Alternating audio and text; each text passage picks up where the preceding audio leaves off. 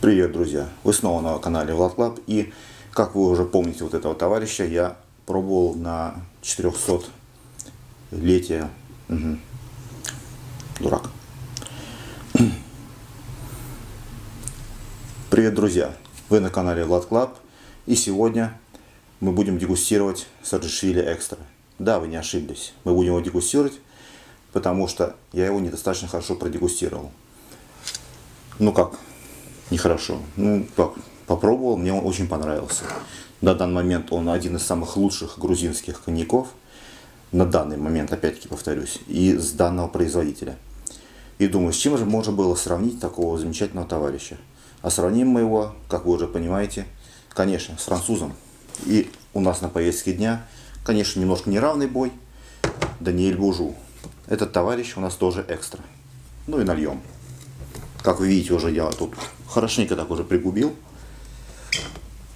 Крышечка тут такая же, как и у Даниэля Бужу, только здесь она такая увесистая, настоящая корка пробкового дерева, кора. А здесь деревянная крышка и то же самое кора пробкового дерева. Ну и нальем этого вкусного товарища. Его никак нельзя обойти стороной. Если у вас будет возможность его попробовать, прям настоятельно рекомендую обязательно взять и оценить. Вот так вот поставим. И вот этого черныша. Описать, описание я не буду рассказывать про него. Все уже прекрасно все знают, что он себя представляет. Скажу лишь то, что данный товарищ у нас 25-летний, минимальный. Здесь у нас чистокровный 35-летний. Да, неравный бой, согласен, совсем неравный. Здесь у нас нефильтрованный, не, без добавки калера и карамели. Карамели, сахарного сиропа здесь нет. 84 год урожая данный товарищ, но дата розлива здесь 16 9 20 Это у нас тоже, кстати, тоже 16 9 Да, эти товарищи разлиты, розлиты 16 сентября оба, но это 19 года, это 20 -го. Итак, посмотрим, что они себя представляют. Начнем с моего любимого грузинского. Он постоял уже довольно-таки долго, месяцок, я вот подумал над ним, поговорил с ним, порассуждали и смотрим.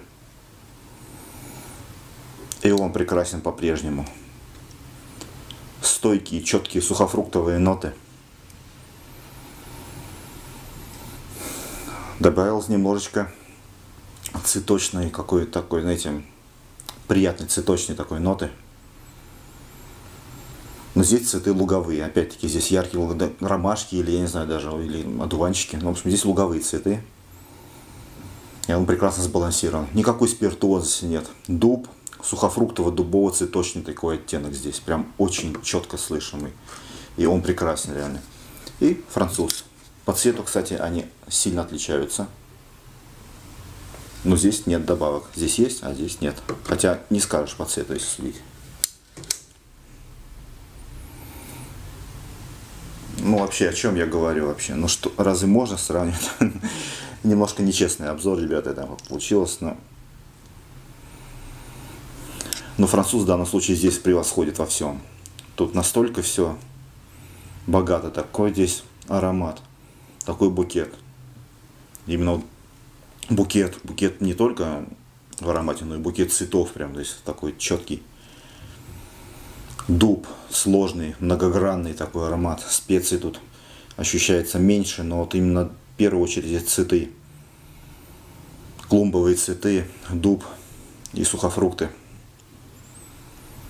Все настолько сбалансировано, настолько все много здесь добавлено. По-моему, даже здесь горький шоколад, я слышал. Да, горький шоколад здесь есть. Ну и переходим ко вкусу. Что говорится, в и тянуть. Но уже по аромату, конечно, превосходит. Хотя достойный тоже товарищ.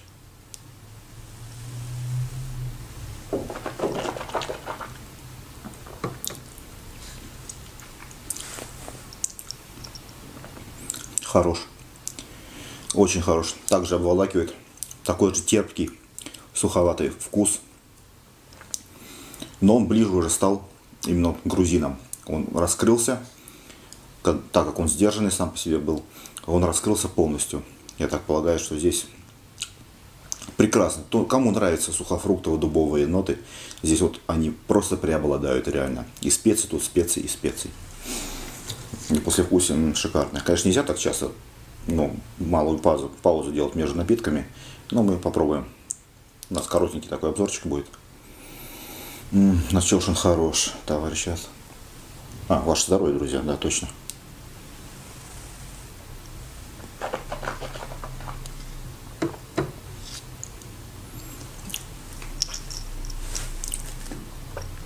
Даже нельзя сравнивать. Этот обволакивает все, что можно обволочь во рту. Все рецепторы просто в экстазе бьются. Это так, обволок. Такое ощущение древесно-сухофруктовое появилось. И прошло дальше, пошло. Здесь же оно держится стойко здесь. Вау. Однозначно, ребята. Эти товарищи стоят друг друга, но в данном случае, конечно, Даниэль его просто разорвал на части. Как в аромате, так и во вкусе.